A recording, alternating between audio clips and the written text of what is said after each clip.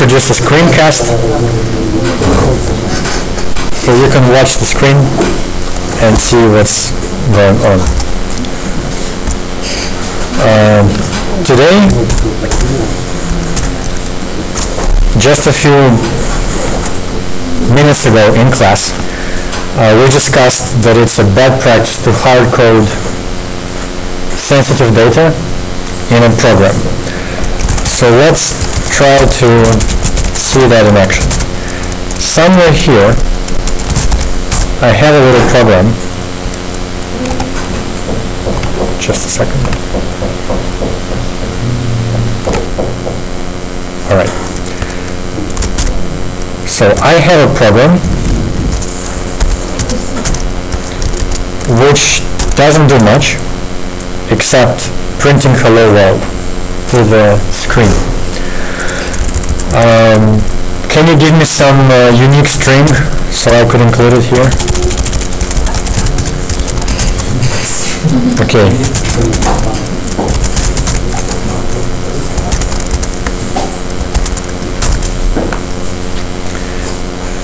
I once, uh, well, many years ago, I was running an experiment in a program, and I was showing it to a student, and I wrote unique 43D, you know, just to have something that is not likely to be anywhere else. And uh, apparently they misunderstood the idea because they thought this only works when the string is unique 43D. So uh, since then, I usually use unique 43D as a as a unique string. So I save this file. Then I do this to compile it. It thought a little bit. Then by default, uh, the output is stored in a file called a.out. So if I do this, you can see it right there, and it's executable. So I can run it, and it says, hello world, unique 43D, right? Now I'm going to start Midnight Commander. I am going to open this file.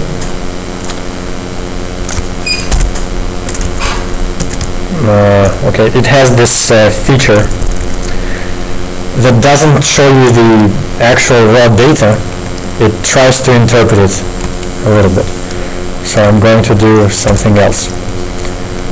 I'm going to open it in Nano. Okay. So now you see a lot of stuff here, right? And we called it earlier mysterious symbols. Incomprehensible symbols, yeah. Uh, let's see, do you know how to enable word wrapping in this editor? Because we could really use it right now. Well, I guess if we don't, let's try our friend gedit. Ah, and it's too smart to do that. Okay, let's try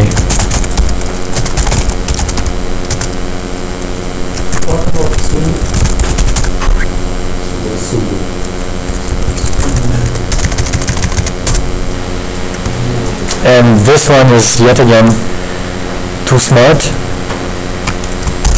Uh, okay, so let's yeah. Okay, how do I enable word wrapping in this magical editor? Okay, let's search. How do I search? Flat or slash and white? Unique 43D. There we go. So we found our string in human readable form. If it were a password, we'd see the password. And hello world should be somewhere next, you see? And it indeed is. The compiler put the strings in close, in adjacent memory areas. Um, okay, now how do I get out of here? There is an easier way, the tool called strings. You give it the file name, and it prints out a list of human readable strings that it managed to find in this binary. So in this case, we're looking at a nice filtered piece of uh, information.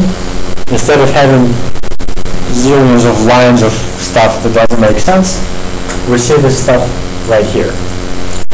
Uh, on Windows, there is a tool called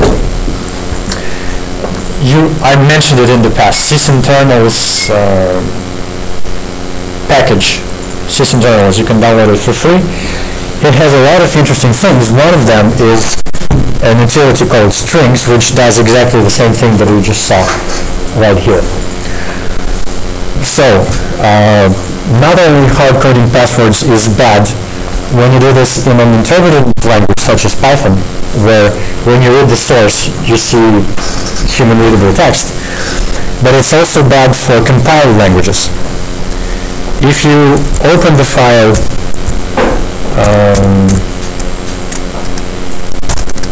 like this, you might have the false sense of security that my password isn't there, it's not readable, but uh, it is, you see right here. And you can make it even easier by using strings. So that's a lesson to learn. Um, another thing we did in class today uh, was a short demo of Notify Send. And some of you haven't seen it, and let's just do this again so we have a nice screencast where it's perfectly readable and viewable. So we have this tool, Notify Send, which tells the arguments you give it. For example, unique 43D. When I run it, pay attention to the upper right corner of the screen, I saw a tooltip with this message. Um, if you have some other program, for example, let's try it here.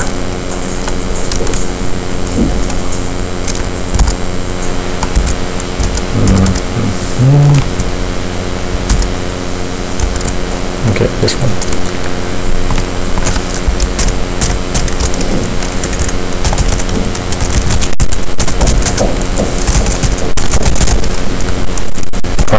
There is a function called system which executes a command. So let me do this. Notify send test. When I press enter, in theory, I will see the pop-up. And I do. So that's great. Now let's say um, command equals this, notify send test.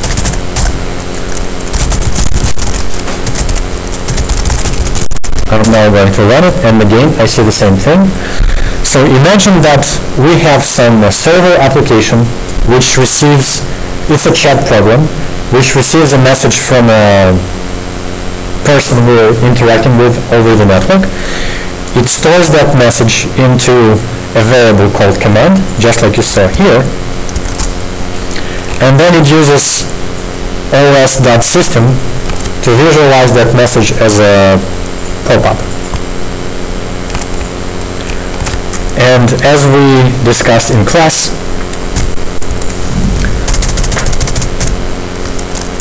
a sender can send us a command that contains more than we thought. So, for example, let me write echo hello. Now, if I run the program again, pay attention to the tooltip, it only says test. It didn't say test and and echo hello. So what happened with this part of the code? It was executed.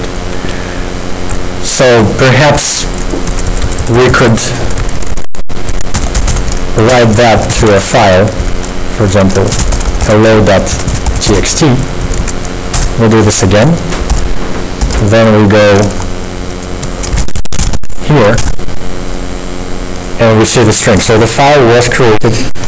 I am going to remove it. I am going to run it again.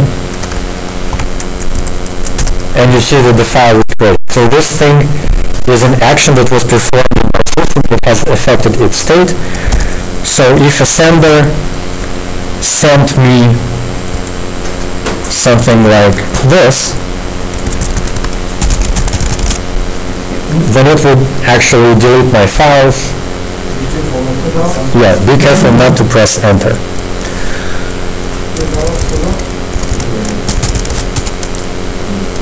Let's say it's without sudo, but I was dumb enough to run, to be logged on as root. Many people do that, unfortunately. Or fortunately for others who are always in search for materials for their botnets. Mm. So what you have to do is you have to escape the whole message. Um, let's go back to this. So command equals notify send percent s and then I give it the message that I actually received from the network which will be uh, test echo hello to tmp new test.txt. Now if I look at command, what do I see? It is a string, but inside this string the argument itself is quoted. So now if I do this, pay attention to the right hand corner, we see not just test, but the whole string. So basically we ensured that this input that we received is handled as a string. We do not blindly pass it to bash or whatever um, my system happens to have. So we did not fall into the trap of taking unsanitized, unverified input from an external source and running it without checking it first. And one of the first things people tell you when you ask them about examples of not verifying inputs are SQL injections, where you receive a similar string where someone leverages the flexibility of SQL syntax in order to squeeze more stuff into that line than you normally expect them to. They could uh, drop your entire database, or they could um, give you a statement that always returns, let's say, the password of the account called admin written to the database. Uh, we'll talk about that in a later class, what, how to handle passwords, how to store them in a database, but that's for later. So for now the lesson is to remember not to blindly execute whatever input you receive from a foreign source. As simple as that. And the last thing I want to show you now is um, an extension of a discussion we've had many weeks ago about dev random and dev urandom. Uh, what is the difference between these two files? You know.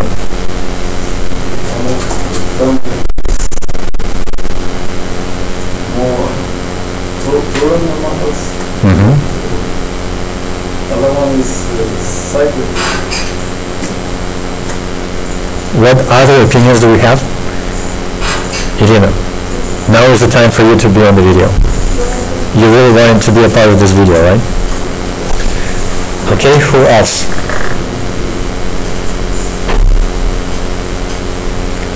Well, what does the U stand for?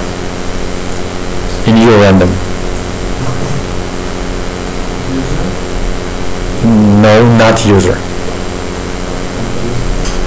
Unbelievable? No, it means unblocking.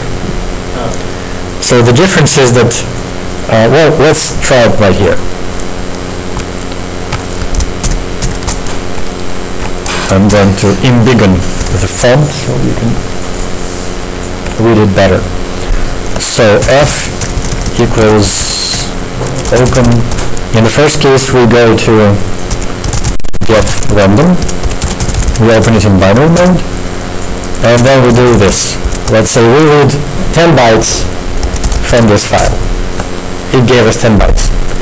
Let's read again, again, again, again, again, again. Every time I call it, it gives me 10 random bytes.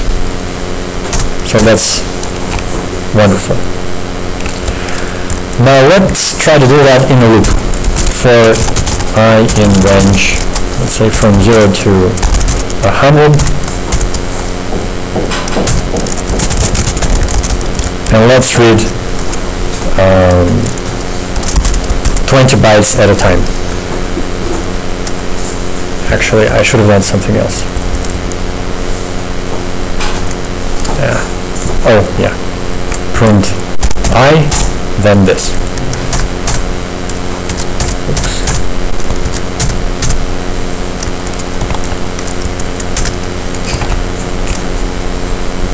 What's happening?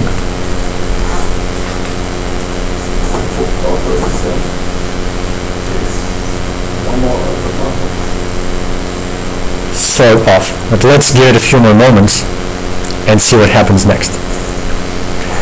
So as I told you, uh, the operating system maintains a pool of uh, entropy from based on which it can extract and produce random data. When you read from dev-random, it will give you nice uh, high entropy data for your randomized purposes. If you request more data than it has right now, it will block until it accumulates sufficient data to give you. So in this case, you see that it takes uh, quite a number of seconds for it to go to the next line and give me the next 20 bytes.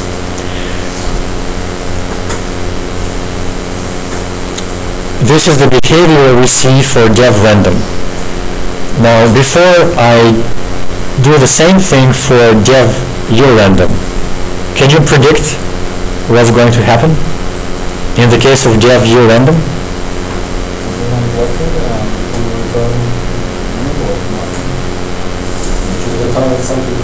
So first of all, it won't block, and second, it will return, it will either not return or return something else like 000, for example. Okay, let me do that. I do this, then I do that. Open dev urandom read binary. Ready? So we run 100 iterations.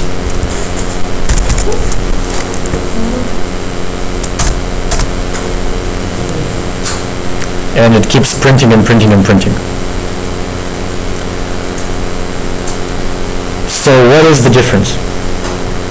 Besides the fact that urandom doesn't block.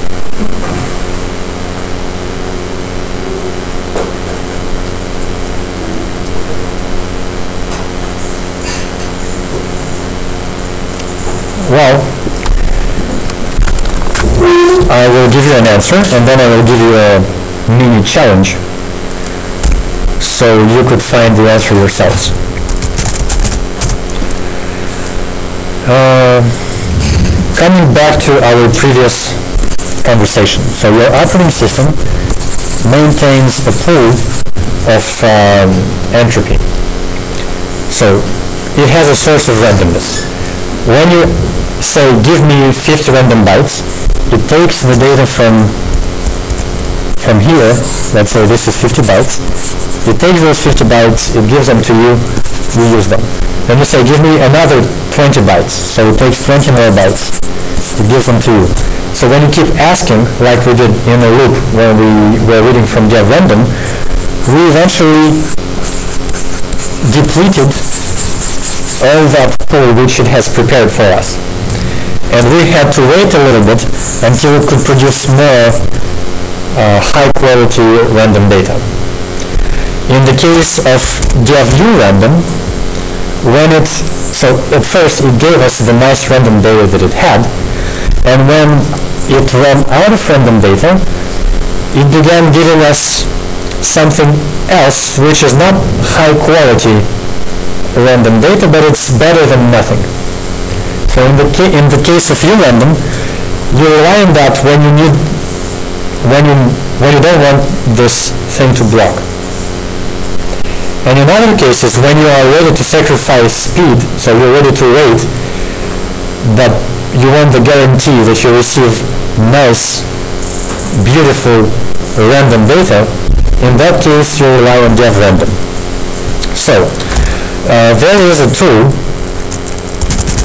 called uh, Die Harder, which is used for um, measuring the quality of the implementation of a random number generator or a pseudo random number generator. If you look at its manual, somewhere in the end you have a bunch of examples. Uh, uh, okay, so there is a way to make it um, test data that it gets from a file. It could be dev random, it could be dev random, or it could be some file you want. Uh, so your challenge will be to first of all learn how to use Dieharder. It's not part of the standard distribution, you have to install it separately, but it's in the repositories, at least in the case of Debian. So your mission will be to produce uh, a file with random data, let's say uh, 500 kilobytes of random data which you obtained from dev random, and then the same amount from dev random, and then you run this test against file A and file B, see what the differences are, then explain your findings in a report. Um, so that's what I wanted to show you in this demo. Sometimes you need blocking, sometimes non-blocking is a better choice. Uh, the mini assignment for today has several components. Basically, we have to replicate what I just showed you. Um, show me, um, demonstrate how dev random blocks. Ah. Then you have to show me how you extract hard-coded hard-coded string from from a binary. You don't have to produce that binary yourself. You can just choose any file. Show me those strings. And uh,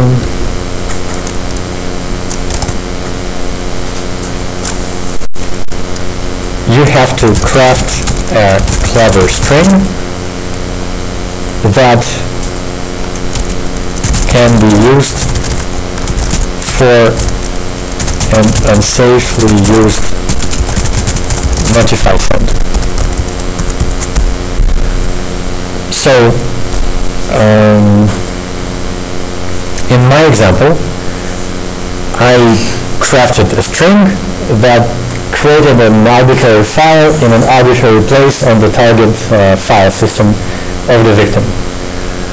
So you have to show me how you make a string that uh, creates a new user account on the system. for example. Or you can come up with anything you think is a cool thing to have. So, uh, what are your questions? I could go back to my terminal here and maybe show you more examples or or I could show you less examples. I could unshow you some of the examples I've already shown.